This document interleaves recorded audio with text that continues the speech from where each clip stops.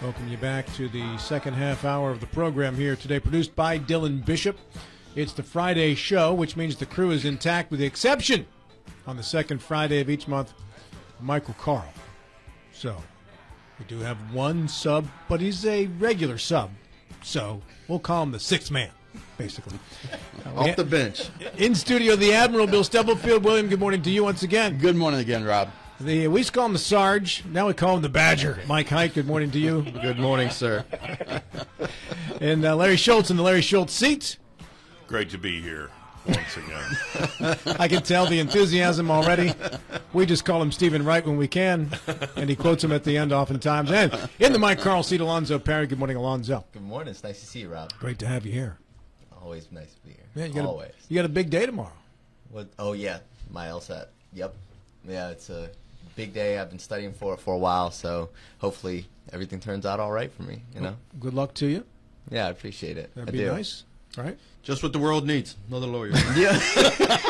I wasn't going to say it, but the Badger's in one of those moods this week, so he was letting it fly. Larry, any advice? Joe, any advice for Alonzo? well, he'll need another lawyer to take the L- uh, LSAT so he has someone to fight with. You know, the, the old story about the small town where there was one lawyer and he was starving to death. Sure. And another guy moved in and they both got rich. because everything creates work for attorneys, right? everything. All right.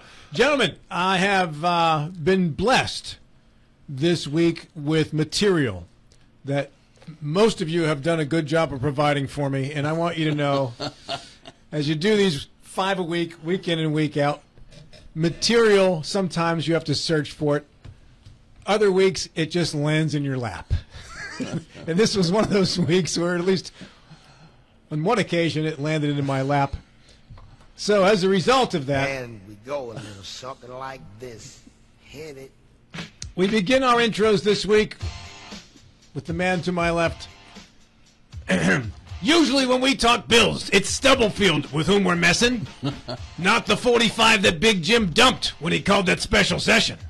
But at least the Gov gave the legislature plenty of time to begin it. Oh, wait, no, he didn't. He actually called it at the last minute. There were delegates running into the chambers, their legs feeling like jelly. And some were angry that day, my friends, like an old man returning his soup at the deli. Others were so mad that they uttered some words they won't recant, like the man who created a legend when he did the Mike Height rant.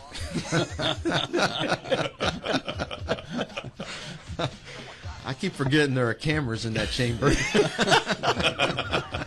I'll bet you remember now, though. yeah. Well, there are a lot of people who enjoyed that rant, so kudos to you. All right. Each week he sits in his own little notch at this table and proudly wears the title as our token liberal label. He takes as good as he gives each and every week, and in exchange he only asks that you give him the chance to speak.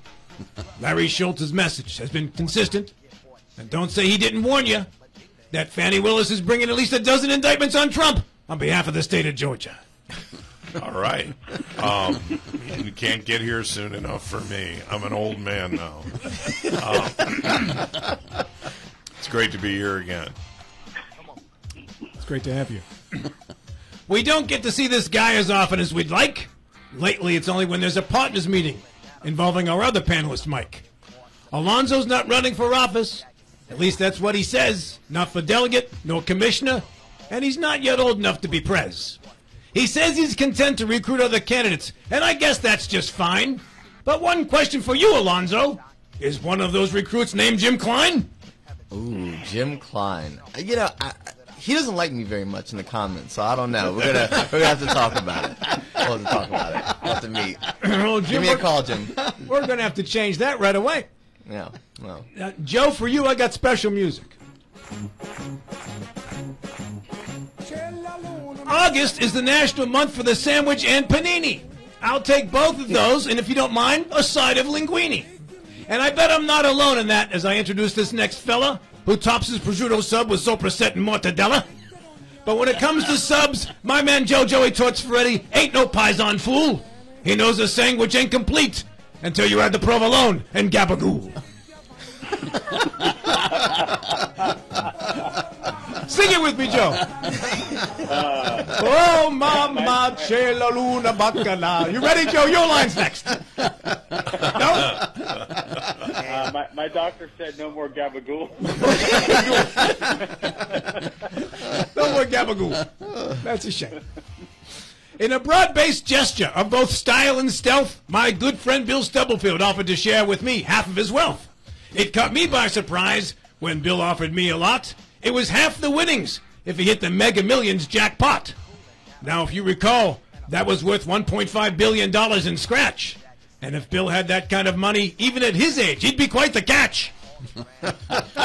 As luck, Thanks, Rob. as, you're welcome, Bill. As luck would have it, he didn't win. As you know, the lottery isn't a lock. So I guess I'll just have to settle for half of his Tesla stock. You should have stopped at the first part.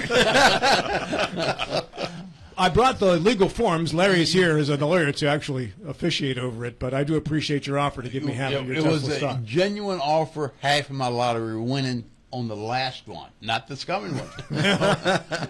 I'm afraid that that's an implied contract, Bill. I'm going to have to hold you to the fire on this one. All right, let's begin our session with our leadoff hitter, Joe. Joey Torts Ferretti without the gabagool. Joe. Robin, uh, back in 2004, uh, in the lead up to the George W. Bush John Kerry presidential election, uh, George Bush was in a little bit of trouble. He was uh, defending a lagging economy. He had uh, passed some the, what has been known as the Bush tax cuts and trying to defend the effects of those on our debt. And of course, he is having to defend uh, getting the United States into the Iraq War and, and under what were legitimately uh, raised concerns about how that happened. So Karl Rove, who was his campaign manager, came up with an interesting strategy, which proved to be very effective. In 11 different states, the state GOPs uh, committees under the direction of Karl Rove made sure that referendum, uh, I think the plural referenda, were included on state ballots having to do with gay marriage. The end result was that social conservatives were went to the polls in droves, supported the notion that marriage should be between one man and one woman, and of course went up the ballot and voted for George W. Bush, allowing him to defeat Kerry rather handily uh, and especially in some of those 11 battleground states. I cite that little historical footnote because 20 years later, I think we are looking at a very similar situation leading up to the next presidential election.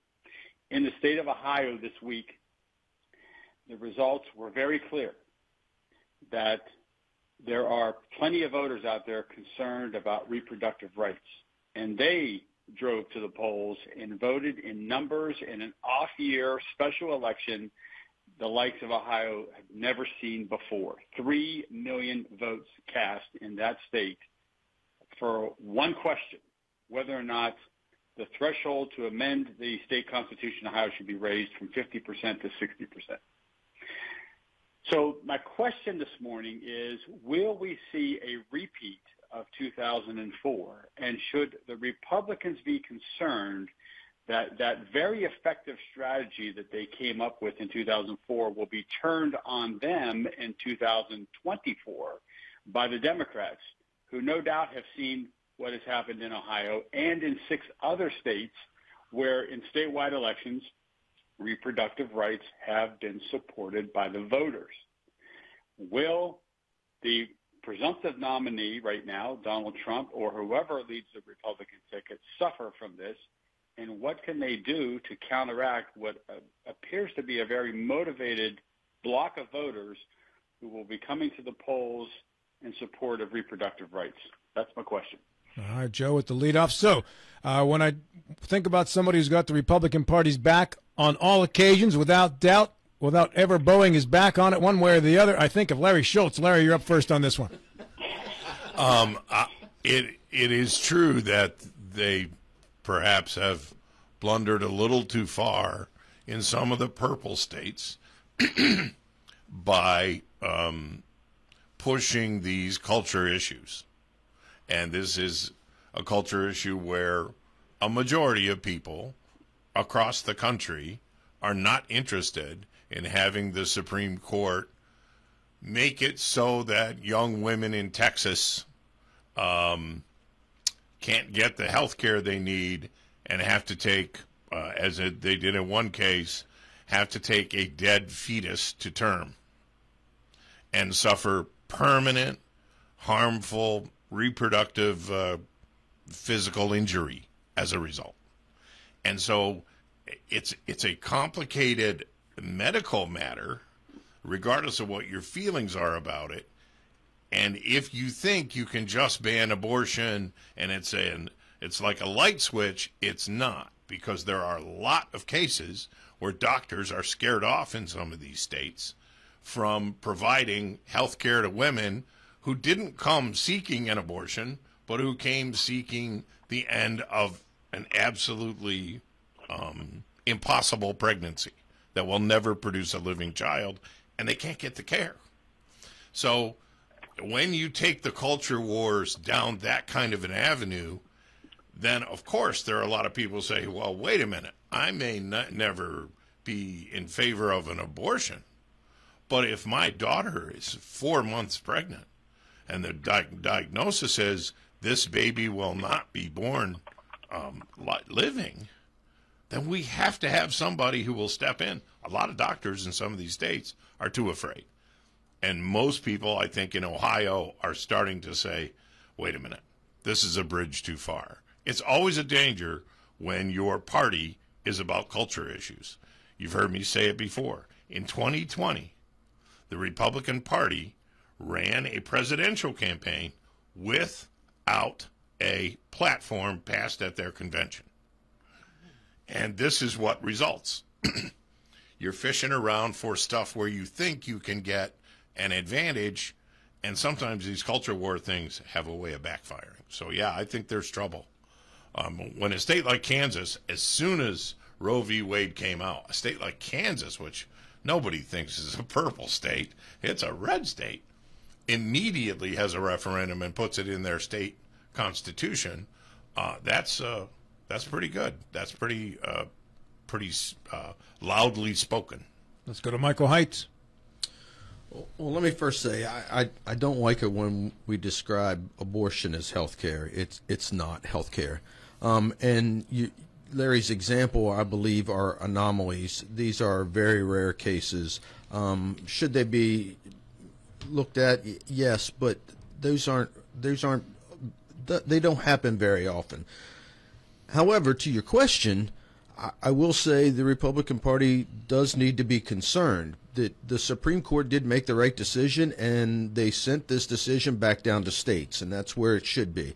And as states make these decisions, they have to know that it could affect elections in those particular states. So if it's on the ballot, it could absolutely affect um, those candidates that are upstream and, and what position they hold on it. So, uh, to answer your question, Joe, absolutely the Republican Party needs to be aware of this and they need to be concerned about this and, and they need to start uh, planning for it.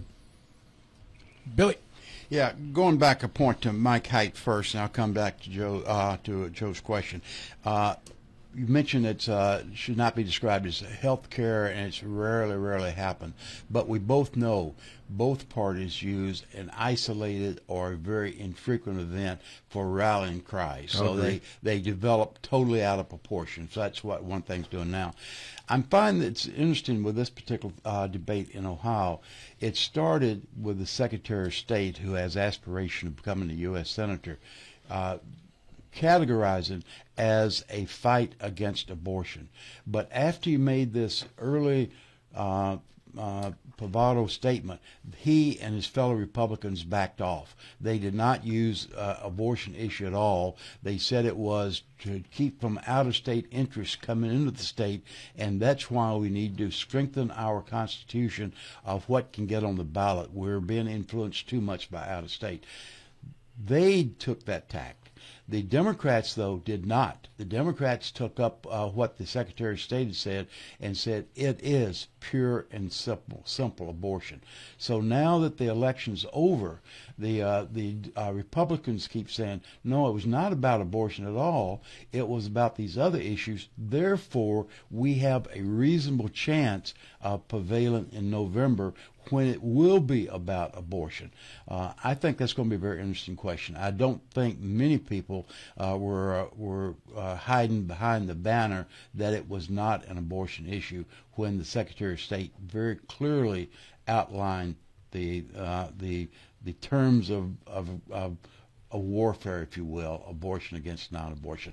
I, it's a, I think it's a, uh, and I am going to agree very much with Mike Height and, and what Joe's uh, talking about.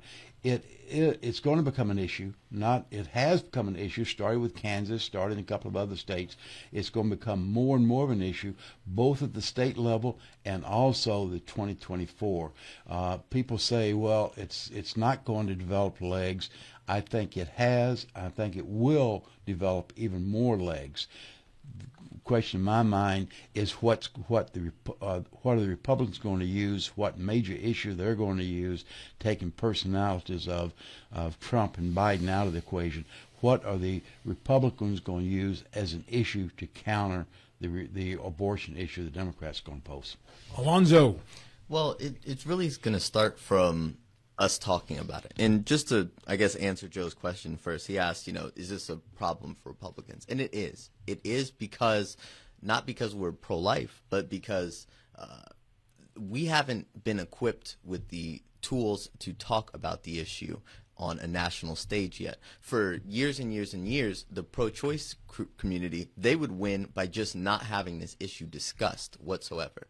So, uh, you know, they would not allow the conversation to even go near abortion and that's what helped them win. And you got to think that you know through years of judicial malfeasance with the roe case that you know there was a conflict in the sense of uh, what courts should be able to do with political issues like um, the practice of abortion. And uh, so forth. So what we're going to have to do is we're going to have to talk about the issue and and get it down to its fine and refined points, right? Because everyone that I've talked to from the pro-choice community, they can't answer two questions that I have for them when we talk about abortion. I tell them, uh, explain it to me like a five-year-old, and once they start to uh, tell me, you know, what, what's happening during the process of abortion, like they were explaining it to a five-year-old, I ask them then at that point um, is it or why is killing wrong? And once we get to that point, it's it's you know it gets combative or it gets into you know a, a, a point. But if you run through those questions with anyone you know about abortion, you start to realize that the issue in itself is not ever being discussed. We talk about all of the periphery things. We talk about, you know, oh, well, what about so many kids in foster care, poverty, uh, you know, all of this uh, outside information, but we're not talking about the act in itself. So what Republicans are going to have to do is they're going to have to talk about it, even though it's uncomfortable, and we're going to have to uh, uh understand that people have been conditioned by society to find this practice acceptable when it isn't. And uh, that's my whole take on it. Um, we have work to do. Goes back to you, Joe.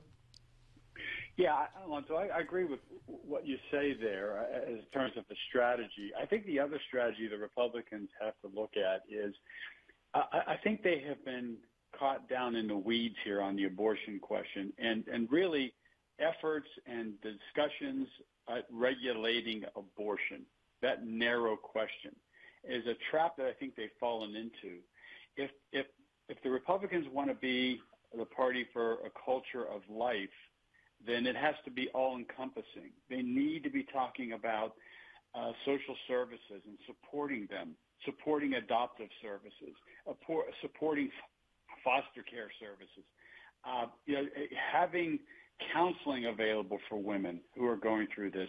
It, it really has to be more of a, a, larger question for them to address. And I think if they do that, they could be more effective than just being seen as regulating a medical procedure because that, that in and of itself is, is too narrow. and and I think it's it's, it's confining them in how they're responding to what clearly is going to be uh, an onslaught uh, at the state level of certain ballot measures being on the ballot in 2024 to drive people to the polls. You can be sure the Democrats are going to do that. And so the Republicans are going to have to have an answer for it, and I think that's one way to, to respond. The other thing I would say, which is very interesting coming up in this Iowa primary, Iowa has, as a state, some of the most restrictive abortion laws in the country.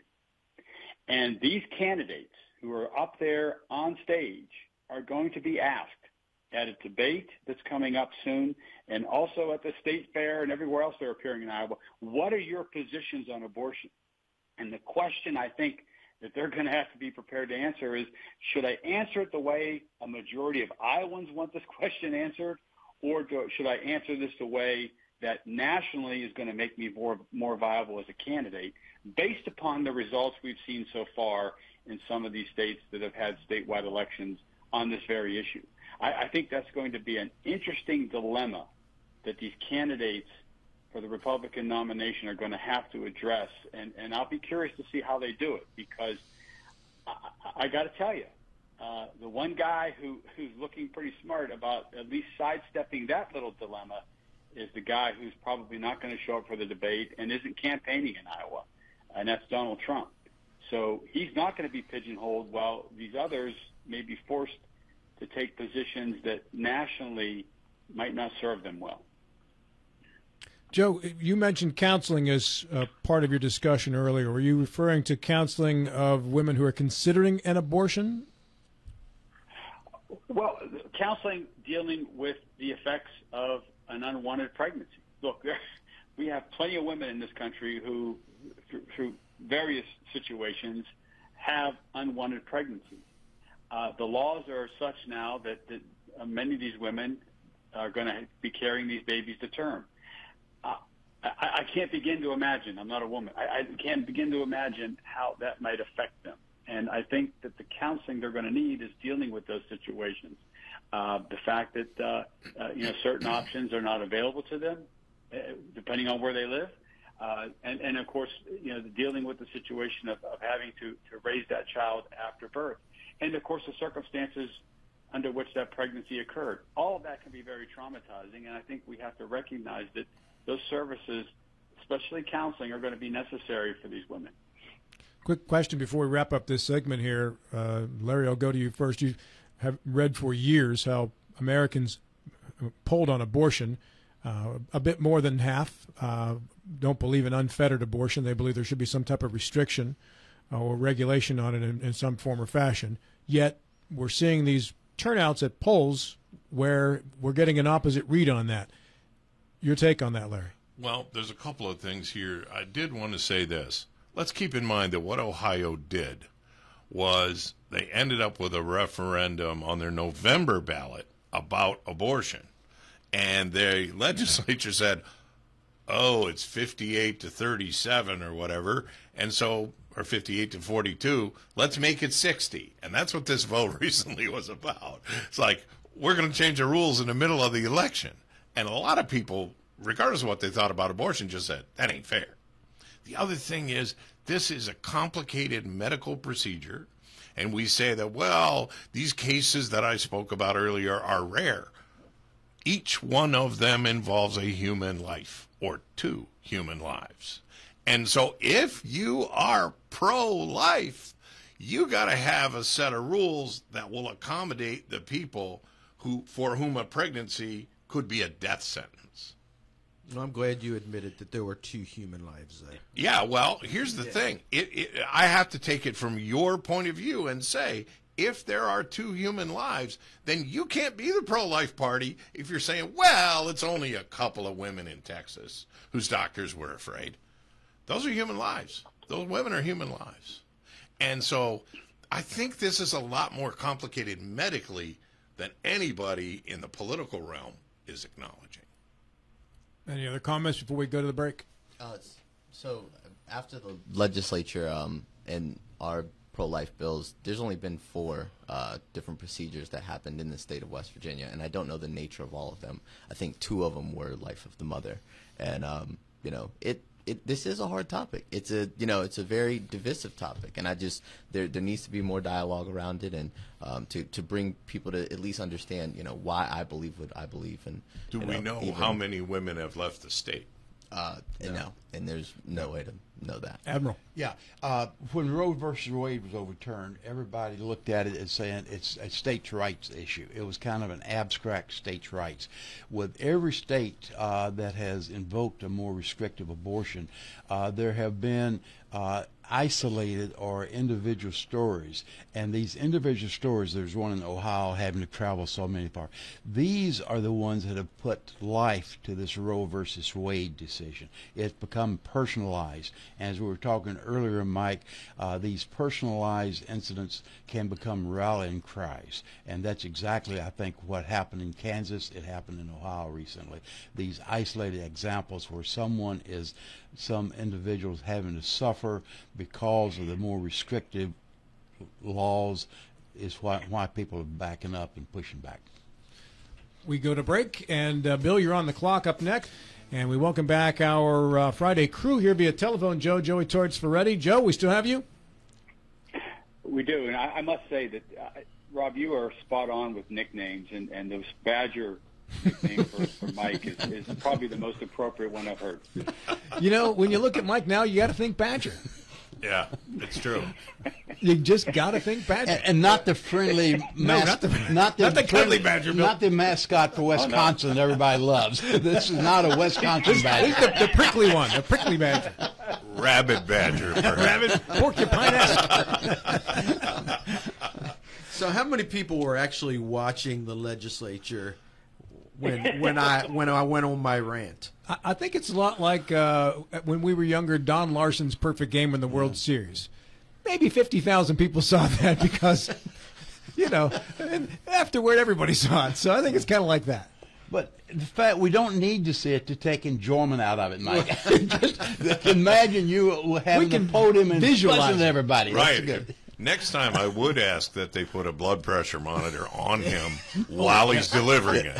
I think just watching the blood pressure go up would be would great fun for me. And the, and the uh, corporate blood pressure monitor for everybody in the in, these, in the room. The great part about not having video evidence of this, because apparently there's no recording of it either, uh, is that I can, in my mind, go Khrushchev-esque on this one and see Mike taking off his shoe and just beating the podium with the heel of his shoe, circa I will, Khrushchev. I will destroy you. I will destroy you.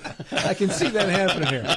Uh, joined in the room also by Alonzo Perry and the Mike Carl seat. Welcome back, Alonzo. Hey, how's it going? The Admiral Bill Stubblefield. Mr. Lawrence, you were slow on the re- on the replay there. Mr. Lawrence Schultz.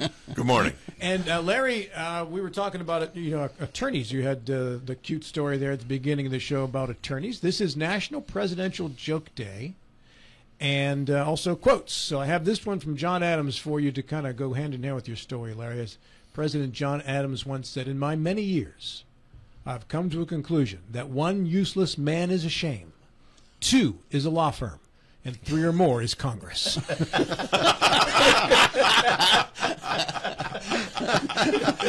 Well said by John. Yeah, pretty good. That one has survived over 200 years now. So uh, we move on to issue number two, and for that, the Admiral Bill Stubblefield. Uh, I'll say thanks, Rob. I'm a little late, but you cut me off before I had a chance to respond. thanks for doing. Uh, prior to the, uh, or as he was preparing for the new uh, his indictment in New York, uh, uh, President Trump said, "Protest, protest. We need to take our nation back." Later, he said, a lot less subtle, "It's time. We just can't allow this anymore. We must save America." Protest, protest, protest. We've seen three indictments so far: New York one in Florida, and more one more recent in New York, uh, excuse me, Washington D.C. The protests have been minimal. A, couple, three people with a with a flag in New York, practically nothing in Florida and and uh, uh, D.C. My question is, why? Why have we not seen these masses of people responding to the president's President uh, Trump's request to protest? Protest. We must protest to save America. All right, let's start with Michael Height. Well, I think most people um, saw what happened January 6th and like, all right, maybe we shouldn't protest like that. Um, and and maybe you're still going to see the protest. You're going to see the protest at the polls. Um, and and I think there are enough people out there that that truly believe this is a witch hunt, whether, whether you do or not. I mean, there are people out there that do, and I think the the the Trump protest will come at the polls. It won't be in mass um, like what everybody thinks a protest normally is. That was quick. Hey, Straight right to the point. to I mean, point, I, yeah. I can't rant all the time. you know, It's that blood pressure thing. But once, you know, I mean, you can follow it up with more than that. Yeah, that well, if pretty- Larry, if if Larry men- mentions Reagan, you might get a rant. Let's go to Larry. Um, I think that um, as we um, go along through this, we find more and more and more cases where the um, the thing that we want to do and the thing that we end up doing in a legislative setting um, starts to veer apart. And sometimes the initial idea is okay, but then to get to a one rule for the whole state or government, we have to make judgments about the situation that aren't quite uh, what we expected them to be. Having said all that, they did see a thousand people get indicted, and most of them have been tried, and a good big number of them have gone to um, have gone to prison. And so now the the um, president, when he says protest, he's being careful. He's certainly not saying go to the Congress, stop Mike Pence, uh, like he pretty much did on January 6th, because that's a crime, as he he's found out. Um, I, I don't think there are going to be any kind of protests in front of any courthouses.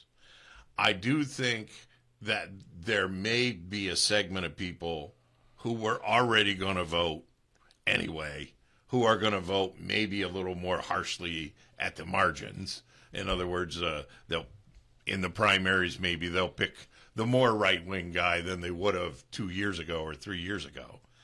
I don't think in the end though that Donald Trump is going to be able to continue to manage this forever um, by ads while he is under indictment. So there's going to come a time where the things that he says are going to get limited by these judges. And we always say, well, what about the First Amendment? Well, the First Amendment has some limits on it, as anyone who's under bail in this county could tell you. You're not allowed to say things about the witnesses in your case on Facebook while you're on bail. You're not allowed to attack the judges. And if you do, they'll bring you in and say, "Would you like to go to jail for a day or two and see what it feels like?" I mean, what are you are you testing me? Because you don't have the right to do this. You don't have the right to travel. You know, a lot of felony crimes in in very common thing is you can't go to Hagerstown or or Winchester uh, while your case is pending. And so there are limitations on your rights. And I think as Donald Trump continues this, there's going to have to be one of these judges, maybe the Georgia judge when that day comes, will have to say, "Hold it.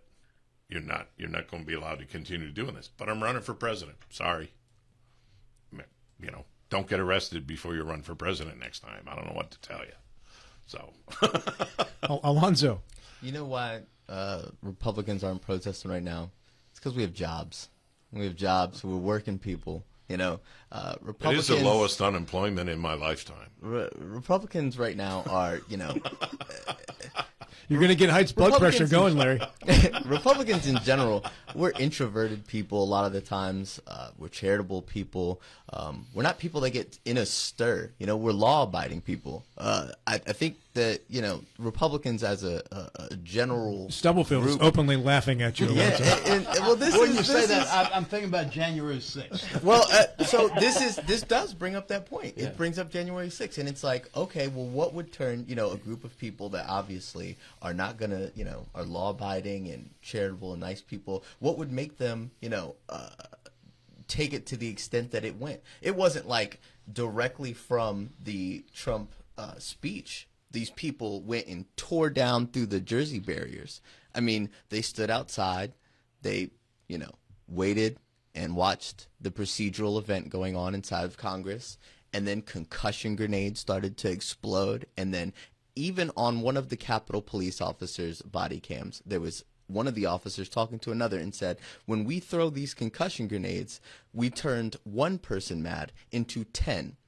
They said that. That's not something that I'm making up or is coming from my personal opinion. This is from their observable reality. So it, it begs the question uh, are there some things that took place that day that maybe we haven't looked at in the full scale of the entirety of its event? And what would cause people that are of, you know, our political affiliation and our belief system to, to be so angry? You know, that's that's all I'm asking. I mean, uh, that's why I believe there's no protest. Joe Ferretti. Well, a couple thoughts. Uh, I am surprised that uh, Trump hasn't been able to get Ray Epps and other FBI operatives to show up and fake a, uh, at least fake a, a protest at uh, some of these uh, criminal justice events. But uh, secondly, the uh, you know what, what we have to understand, and I think uh, Alonzo, as you go through your legal career, uh, you, you'll learn this. Uh, you know, people question what, why are these folks who broke into the Capitol, why are they being prosecuted, and why are they being sentenced so heavily? There is a deterrence factor in the criminal justice system that uh, that plays out every time, and that is whenever people suffer the consequences of their illegal acts, it's a message to all: don't do this. And I think it's clear that a lot of folks don't want to show up and suffer the consequences of having a 10 or 15 year sentence because things get out of control and you get caught up in the moment and before we know it you're trying to storm a courthouse or something like that. I, I think that's one thing that's at play here. And secondly, uh, you know, Donald Trump's no dummy. Uh, he is going to try everything in his power to have these cases vetted in the court of public opinion. And he is constantly reminding the judicial officers and, and the judges who are overseeing these cases that he does have a rabid following. And even though his conduct would ordinarily result in a revoking of bail and, and, and a jailing of him, when you threaten judges and you threaten witnesses in a lead up to your criminal prosecution, that usually gets you in trouble. Judges are human. And any judge sitting there thinking, what am I going to do with this guy who won't shut up and who won't, you know, allow this process to play out without massive interference? What do I do? Well, she's going to, today, she's going to warn the attorneys and she's going to be stern and all that, but she's not going to revoke his bail and she's not going to throw him in jail for his conduct, even though it might warrant that. And she's, and she's not going to do that because she's going to be concerned about larger societal uh, problems that may occur if something like that would happen. So he is immunizing himself to some extent by constantly uh, exhorting his followers to protest because he knows that's exactly what no federal or state judge is going to want to have to deal with if they have to come down on him. Uh, it's an interesting pl- ploy by him, but I think it's one that's going to prove effective. But it works in the equal and opposite end as well. I mean, you know, why isn't Trump in jail. Uh, let, let, hear me out. If this guy is as bad as he has been made to seem, he tried to overthrow the government of the United States. If he is truly, I mean, he's got a bunch of money. He could be a flight risk. He could, you know, uh, there's there's a, a bunch of unknowns here. Then, if if this is the case, why is he not being charged with insurrection? Why is he not being charged with, you know, or why is he not being held in jail without, you know, the option for bail when he has the the means and the ability to completely devoid or or run away from all this? It's it's it, it works kind of both ways with that logic, in the sense that you know.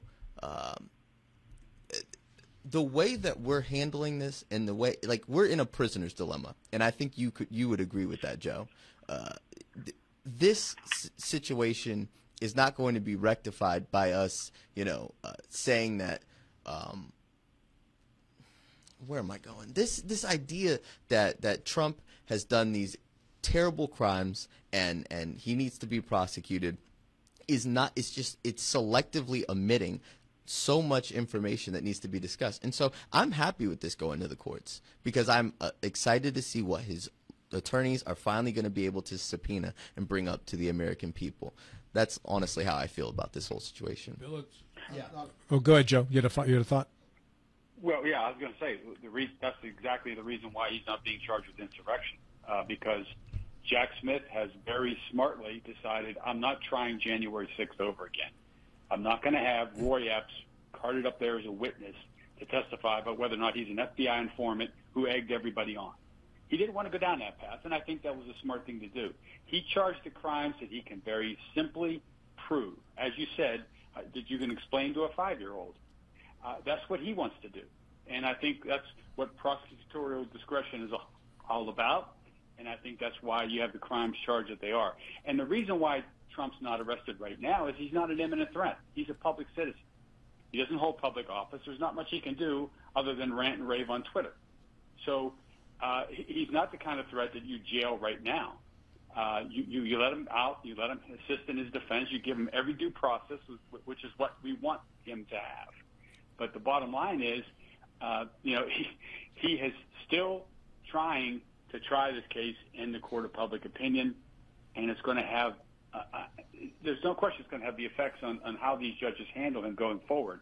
I can assure you, any defendant out there who would threaten a federal judge or threaten witnesses, as he has already done, would suffer grave consequences. He won't because of who he is and the power that he has. Uh, that, that's my only point.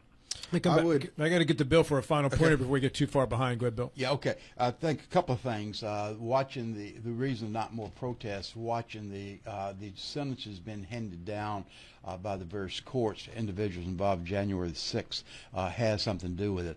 I think also Mike Haight made a good point uh, that the protest will be done at the election box than anywhere else. All right, and we go to issue number three with Mike Kite. You can lead off with your comment to close down the segment if you want. Well, my comment was just to thank Alonzo for pointing out my introverted nature. Um, so my my topic that's is too good right there. I'll go to a state level issue. Um, so we've had months now of of severance um, taxes coming in lower than projected. Um, and so my question to the the uh, the panel is: Are the days of the huge surpluses in the state of West Virginia over?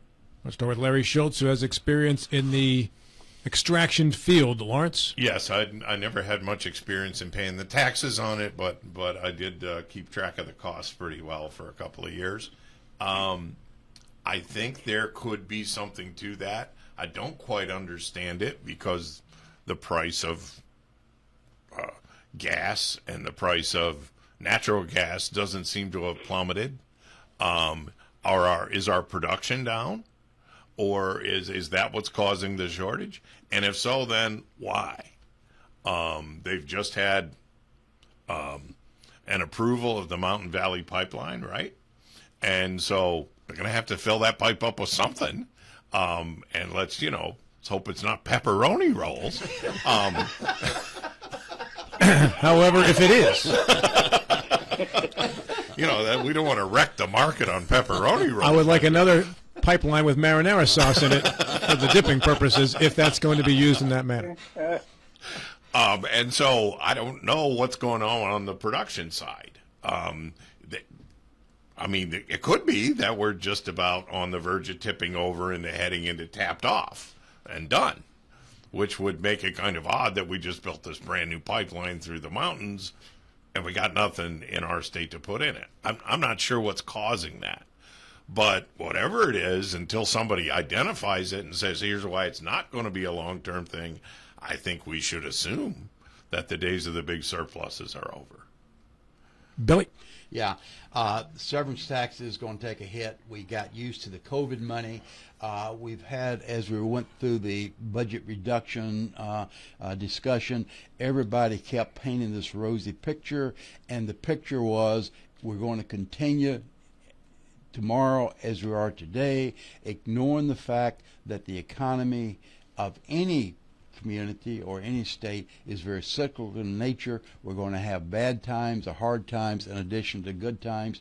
I found it very frustrating in all the discussions. The cyclical nature was never discussed. It's always it's going to be a rosy, rosy, rosy projection, and I think that was a mistake. Alonzo.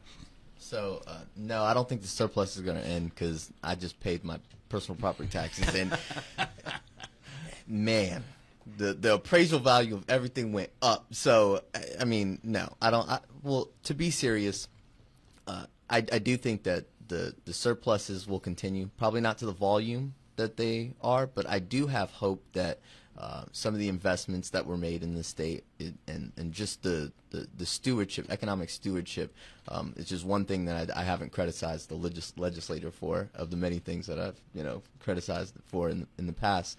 But um, I, I do think that uh, we will continue to see surpluses, and I do think that the the whole issue with energy right now is a very temporary uh, apparatus, and I I have hope that one day you know we'll we'll focus on getting more of this natural gas out of the state and more of the coal and find ways to you know uh, make that a, a, a viable option to continue to be a, a strong energy producing state in the country. Um, I think that that's going to be our, our our guiding path even to this day. Torts. Well, I- uh, Badger, I appreciate you bringing this issue up uh, because I think that uh, the severance tax, we, we know, we've discussed the boom and bust cycle that those severance taxes uh, go through.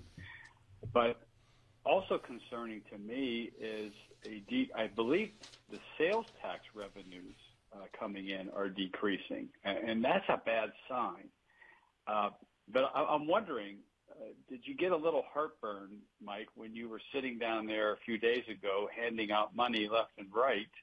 Granted, it was surplus money, and, and in many cases, uh, the, the expenditures were needed. But I mean, the way they were handing money out in the face of, of this this troubling trend that we're seeing for the last few months, I just wondered if, if you know there was a possibility of maybe banking some of that money for a rainy day, and not not just a rainy day fund, but you know putting aside other money uh, somehow so that that uh, we can kind of smooth things out because that's always been the issue with severance taxes is is trying to smooth out uh, the fact that it does go through boom and bust, and and oftentimes the state in some years is flush, and in some states is trying to catch some years is trying to catch up. So, I you know, what was your reaction sitting down there uh, going through that uh, situation on Monday and Tuesday? I felt like Oprah. You get a million. You get a million. You get a million. I mean, sitting in the we sat in finance committee for ten hours, ten hours going over this, arguing back and forth about uh, about some of this, and the the the numbers on the call were even higher than what we approved. We we cut a lot of these um, these issues when they came before us in the finance committee. We were like, you know, no, you know that's that's too much. Um, we're not going to do it. There were uh, there was a uh, a program that um, that we voted on last session that uh, the governor wanted 250 million dollars for this program, and we gave him 125 million last session, and then he put on the call this session um, to get another 175 million. And everybody was like, well, "Wait a minute! It started at 250. We've already given you 125." 175 doesn't equal 250. So, you know, there were a lot of times when instances like that where the the uh, the finance committee was doing their due diligence and and pulling it back and saying, "No, we're not going to just keep giving this money away." Um, I believe they did the same thing with the um, the smoothing bill of the rainy day fund. You know that they wanted to smooth things out over a seven year period, and and and a lot of our opinions. Um, why seven years? We, you know, we were looking at that and saying, well, they picked seven years because that's that's what made the numbers work. They wanted another 144, 150 million dollars to spend, so you do this and you don't have to put as much money in the rainy day fund. And a lot of us are like, no, that that doesn't work either. When when severances are going down, now is the time to be prudent. Now is the time to say no. We should be putting money back and making sure that we that our rainy day fund is is secure. You know, and and we can't right now, the way it's set up, we're going to give $230 million into the rainy day fund, and you want to drop that all the way down to 87. And, and the majority of us in, in finance were like, no, we're, we just can't approve that. Um, and that bill died in, in finance committee. So I believe we are being prudent, even though it seemed like we were just being Oprah. Um, I can assure you we weren't. And it does come back to you if you have an additional final word, but Alonzo has a comment first. Well, and it's like you know, uh, all of this is artificial because we have you know massive amounts of coal, and it's not like any other people in the world aren't going to coal. A lot of uh, countries are restarting up their coal plants. We could be a massive exporter if we just unlock the ability to mine for coal and and uh, you know uh, allow West Virginians to do what West Virginians love. I mean, we could make a significant amount of money, but these are artificial failures being promoted by the federal government. And, and a lot of times they're artificial numbers. So uh, when you look at severance, these are these are projections that are given by the the um, the governor and his team. So when you see a, a shortfall or a surplus, it's based on his projections and, and how it fits into the budget. So um, where we saw these surpluses in years past, it was because he kept projections low. Well, if he's raised projections, and that's why you're now seeing a a, a negative in, in severance, it, that could be the reason because he's upped the the whole um, severance uh, projection. Do you, do you suppose there could be a problem with putting a guy who can't seem to pay his taxes in charge of all this? I mean, I, I mean, I, I'm you'll have to sure. talk to the majority of West Virginians. Be- I mean, Yeah. you can't. As far No, as I look at it, it. Republicans didn't put him in office. Um, we may have done it the second time, but we didn't the first time. So um, you would have to look at the would- Democratic Party for It that. It just seems difficult to me to take the word of Jim Justice about how much money there is, and here's the prudent budgetary plan. Uh, no matter what party you're in, that just simple economics and simple history, shall we say. Um, I'm not sure that I would be c- capable of saying, "Oh, well, the governor has projected thus and such, and well, therefore we should go along." Well, Uh, when it came to I'm the glad rainy day not. fund, I'll tell you, and uh, uh, I'm going to disclose something that happened in committee only because it's open to the public and anybody can see it if they want to. So, I- I'll As we just- learned. you know, right. Um, so, the the governor's um, finance guy in there, um, Mr. Hardy, was in there explaining the bill and, and the rainy day fund and what this all to do to to finance. And somebody asked him point blank. Do you believe this is a good bill? Do you believe we should be doing this? His answer was, the governor supports this. Now, I can tell you right now, I can read between the lines. Dude didn't like it. So, I'll, I'll leave it at that. Dave Hardy always gives that answer. A couple of words, uh, notes on the uh, surplus numbers the past month. Uh, we had Finance Chairman Eric Tarr on this week, and he said that some of that was uh, because of the timing of the payments that were being made. Delegate Mike Hornby just texted me and said the same. So maybe February, uh, not uh, February, but uh, August numbers Be we'll- better. We'll see uh, a difference there.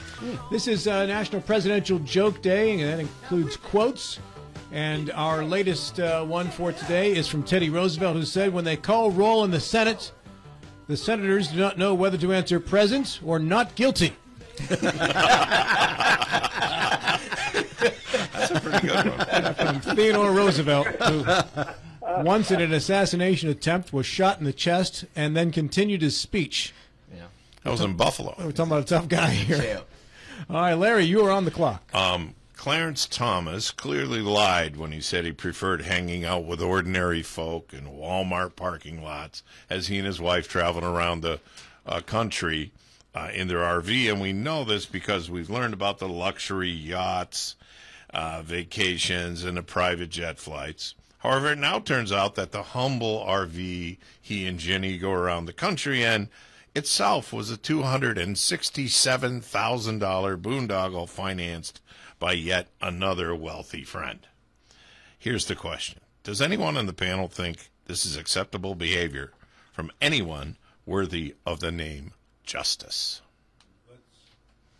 Well, is that a Jim Justice slam you're working in there too? Ed? No, it's a Justice Thomas slam. Just, just based on the way you ended the last segment, I was just curious if we get another another shot in there, turning the. That was just a coincidence. All right, Alonzo, let's begin with you. So, uh, I want to. Does this affect his ability to uh, view cases, in your opinion? It does for two reasons. First of all, because to the extent that there is some influence behind it, it directly affects it. But even if you could prove that it doesn't, the appearance of impropriety, which is a very important thing for judges, is off the charts. That he's taken money from people who his rulings benefit. And it's just, you can't do this. The appearance of impropriety is horrible. See, I, I just I don't understand how that's you know gives the appearance of impropriety when we've talked about this before too, where Ruth Gator. Uh, Ruth Bader Ginsburg went and officiated a gay wedding, but still got to sit on the bench and rule on the gay wedding case before her in the Supreme Court. That took place. That's impropriety. She should have recused herself from that actual uh, ruling. And you know, to to say that because he drives around in an RV, which he does talk to ordinary people on his trips, um, I've heard you know very good things about him. You know, uh, talking to individuals that you know are on these journeys that he takes and I mean, what kind of life do you want a so, like a Supreme Court justice to have? Do you want them to be like? I want him to have a life that he pays for himself. Some, yes, cooped inside some, some, you know, uh, prison cell, waiting to, you know, go out and like make a ruling about society. I mean, you know, you can have friends, you can have people that you know that give you things, you know, and it's not going to sway or change the way that you uh, exercise your jurisprudence. He has a style. You can almost tell how he's going to vote on something before uh, the case actually comes because he's an originalist. You know, he is true to form. And uh, to to suggest that there's anything outside that's influencing, you know, his behavior in the court is just a ridiculous notion. Billy, Yeah, they've gone back several years looking at his voting record, and he votes 100% in favor of the people that have access or have promoted some of his, his interests. Look it up, Alonzo. It is there. The other thing is Clarence Thomas makes me yearn for the day that we have term limits because I don't think you can get rid of him. I, I don't think there's any appetite to get him to resign. Uh, there's a lot of rhetoric. They hope he'll resign. It's not going to happen. So until we have term limits to all of our elected officials, we're going to have instances such as this. Mr. Height, or Badger. So, two things. Um, one is he said he preferred to hang out with people at Walmart. It didn't say he didn't hang out with people that are that have lavish lifestyles. He just preferred the people at Walmart. So I have to take him at his word there. Have The you been to thing- Walmart? I, I have. I, I- he prefers hanging out with people in their pajamas. All right. Um, the other thing, the important, uh, the important word in, in your comments was he financed. Somebody didn't give him the money. He financed the money. So it would be no different than he went to a bank and he has to rule on banking issues all the time. So I don't see the impropriety as long as the there is transparency in the actual financing and, and, and how much he paid and and that it was at a, a comparable rate. I mean, even if it was at a lower rate, I'd still be okay with it. Um, he financed it, so he and his wife paid for it. But do they pay it back? He never told. He yeah, never he, pays he never told anybody about this. The press found out about it on their own. This was never in any of the reports. They're supposed to report their financial uh, dealings, and he hasn't reported any of it. If I if I borrow your RV, would I have to report that? If I just borrowed it, if I if I drove around, it's not mine. It's not my possession. I don't hold the title. Yeah, I mean, I think let's say you're a circuit judge and and you you like to go RVing, but you don't have enough money to buy one, and I give you mine, and then two months later I'm trying a case in front of you. Somebody on the other side, I may not think it's a problem. You may not think it's a problem. Somebody on the other side I- may I say, "Well, not how that- these Schultz is providing his vacations for him." But if, if if a judge is buying a house or a boat or an RV or whatever it is, do they have to disclose that they went to um, BCT to get the loan, and and this is what they paid, and yada yada yada. All that has to be disclosed. I bought, you know. I, I don't know exactly what's required to be reported, but if you're getting any kind of a special deal, and we don't have any idea what the deal actually is, yeah, they should have to report it. But they should. if they but if they maybe they should, but do they have to? And if they don't have to, then he didn't do any. There's no impropriety if he actually financed. The person didn't give him the money, didn't give him the RV. Well, that depends He on- financed it. Well, it depends on whether he's making the payments or not, and we don't have access to that. Right? I mean, I could finance it and then call you up five minutes after you sign the papers and say, "Don't worry about those payments, Badger. You know, we're good." Um, you could. You know, I could. is- I'm not going to uh, because I don't have the money, but I could theoretically. I mean, but but honestly, do you do we like are we taking into account how hard it is for something to get to the Supreme Court? I mean, you know, not only I mean, just just go through it. You have to go through all of these lower level courts, right? You have to get to one of the circuits. After it gets one of the circuits, you have to get four other judges to agree with you to even see a case that has to do with a constitutional issue. They don't just wake up one day, and this is this is on the benefit of or to the benefit of people that understand that the public doesn't know about uh, these legal uh, structures because they don't get to just wake up one day and grab something and then say this is what we're going to rule on today. No, there's a whole process that is so far removed from just my buddy, you know, billionaire wants me to do this for him. That's Alonzo, crazy. Alonzo, isn't that called deflection?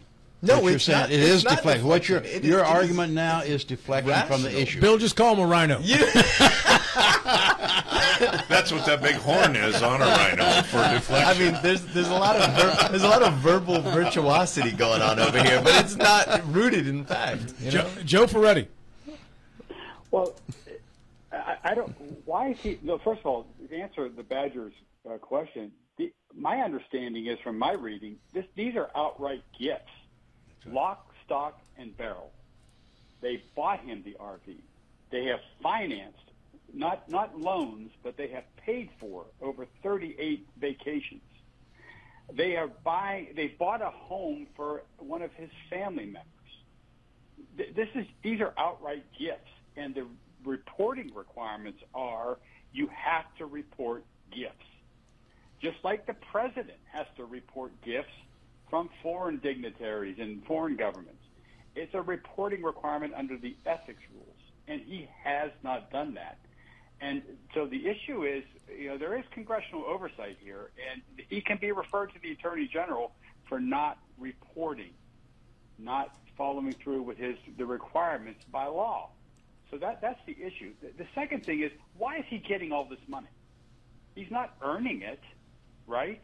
He's he's not he hasn't done any labor or service to these billionaires who see fit to bestow him with all these gifts.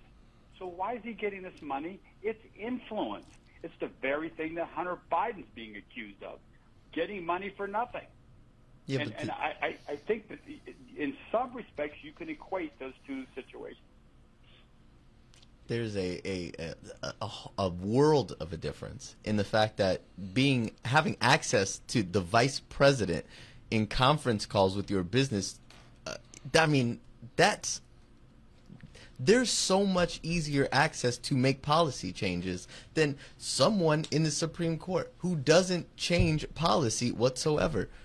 They physically are they they change the actual structure of how the Constitution is interpreted. Their whole responsibility is to interpret the Constitution. They don't make laws. That is the the responsibility of the executive and the legislative branches that that uh, work on that lawmaking function. And and it's just it it's mind blowing to say, oh, this is just like the Hunter Biden thing because he's using an RV that may belong to someone else. That's the same as physically being in international business calls, uh, selling access to the White House and strong arming uh, foreign companies in foreign countries with taxpayer money. I mean, that's just it's a world No, of a difference. Alonzo, not, uh, you're, you're perverting what I said. I said in some respects, this is just all about influence. That's all it is. If if if Justice Thomas is getting all these gifts, okay, with no terms of repayment, here's your RV, here's your vacation paid for. Why are these billionaires motivated to do that?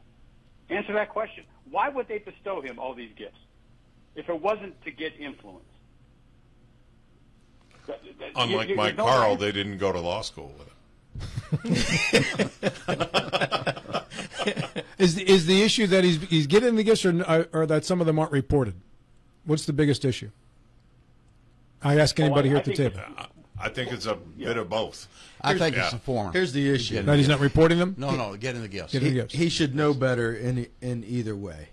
Uh, so if Correct. you if you're if you're getting uh, if you're getting financing, if you're getting gifts, you should be reporting it, uh, uh, even if it's above board and there's nothing illegal about it. You should still, with the position you have, you should be reporting it. So, I will I will concede that fact. My wife works for the FDA. Every year, we are required to fill out a financial report about every single thing that we own or invest in that's greater than one thousand dollars or source we earn money from. So, so some years back, I bought a few shares of Amazon stock that then split and then ran up in price. And because Amazon now also does uh, has a food wing, and my wife works for the FDA, but on the drug side and never touches anything that deals with food. We got a, a email that quickly said, "Listen, this is a conflict of interest, and if the amount of this stock goes over a certain amount of money, you must sell it, and you must tell us the date you sold it and the value you sold it by, with the implied a threat that if not, you can be terminated." And this is not a great amount of stock. Okay, this is not life changing money. So if we have to answer to that requirement, shouldn't a Supreme Court justice? And uh, keeping keeping in mind, my wife has zero involvement on the food side of the FDA. Yeah, and a, a slippery slope uh, receiving gifts. And if you receive one, you don't know what uh, the influence you're actually selling. I made a policy, and Mike Hyde and I talked about this when I was elected official. I never would accept even one cup of coffee. I feel so much concern about taking anything for someone because you don't know what they expect of you. They're not giving you something for free. They're going to expect something of you. And the safest thing is not to accept anything. Uh, and and I think this is where, and, and I'm not saying Clarence Thomas is the only one. Right now, he is the the uh, uh, the poster child of doing it in great extremes. I think it's a mistake to accept a dollar. Bill, I wish you still refused coffee. Then you wouldn't run out here so fast every commercial break to get to the basement. Issue number five with a time crunch, Alonzo Perry. Ooh, which one should I go with? Let's see. Okay, so uh, I think this is interesting enough, and we kind of touched on it this morning a little bit, but uh, a lot of couples feel that they can't start or grow their families because of like disorder politics and the warped economy, and the existing model that we have erects some barriers to uh, family formation. Um, there's really high costs with childbirth, and I wanted to ask everyone in the panel today if they think that we should make childbirth free in this country. Childbirth, not child care. Childbirth should be free. Childbirth, All right. yes, Joe, actually. Joe, you go first, and we we have uh, three minutes, four minutes, Are, sorry, you four minutes. advocating? Are you advocating for government-sponsored uh, medical care? Uh, because that's the only way we can make it free. Um, I, I did look this up, Alonzo. The average cost for childbirth fourteen to eighteen thousand dollars per birth. So, yeah, I mean, uh, again, we go back to that issue about culture of life. If, if we want to have that in this country, uh, we should look at this issue and see how we can uh, perhaps encourage people uh, for childbirth and uh, for covering those expenses. Michael Height, the Badger. Uh, kids cost way more than that. Trust me. Um, and and no, the government should not be paying for childbirth or anything else like that. Um, if you're going to have a kid, you need to take responsibility for it and pay it for it the the whole way through. Billy.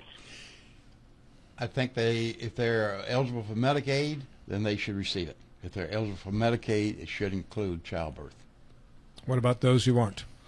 No, I don't. I think it should be tied to a uh, a means issue. Can they afford it or not? I don't believe in paying it for someone who brings in a fifty thousand dollar year salary. But there are women that cannot afford it, So I do not want to jeopardize the woman or the child. So it should be available through Medicaid. Lawrence? And it it is. I mean, as we speak, it is available through Medicaid. Um, I'm not sure that you would necessarily want to focus it just on that. Uh, I guess I go more with Joe. Um, there are a lot of things that happen in people's lives horrible illnesses, um, cancers, different things that will put a stop on what has been a good life up till then and introduce a financial hemorrhage that'll never end.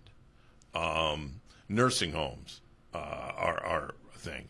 So uh, that that does that in some families, um, where eventually the nursing home is going to end up with everything you have if you live long enough. And I would rather see us address that um, because any of us, even uh, even the youngest among us, uh, could end up in a car accident that put us in a nursing home tomorrow. And uh, everything you've ever earned, everything you ever will earn, will go down that, they'll go down those tubes. Uh, so I'm not sure that drawing a line with childbirth um, makes any sense. The way to address that is to go see Danny Staggers on East John Street, and um, 304 267 3915. That was a good plug. Final, final word goes back to you, Alonzo. Well, no, I, I think that, you know, uh, we talked about, you know, how the pro life uh, movement needs to have a calling card. And I think that this is one of them that the, um, has actually been kind of gaining steam. And I always think it's kind of uh, strange to hear different Republicans talk about this issue. And uh, I just, you know, I, I don't I'm tired of paying for things for the left and saying that the right is not able to, you know, afford this or whatnot. And uh, I would love to see this be a national program to help families actually form. RINO. I knew that was coming. Final thoughts are next. Final thoughts, eight seconds apiece. Torts, you go first. To all Mountaineer fans, I highly recommend a trip to State College to experience a Penn State home game. I'm not sure where that came from, Larry Schultz. Yeah. Babies don't need a vacation, but I still see them at the beach. I went up to one the other day and said, What are you doing here? You haven't worked a day in your life. Bill Stubblefield. For future discussion, what is meant by being a RINO? Mr. Alonzo Perry. Uh, Eisenhower dinner. We got Jack Posobiec, Alex Stein, and Ashley St. Clair. Berkeley County, uh, GOP.com. Mike Height, five seconds. Come out to the fair tonight and buy one of these delicious animals they're selling.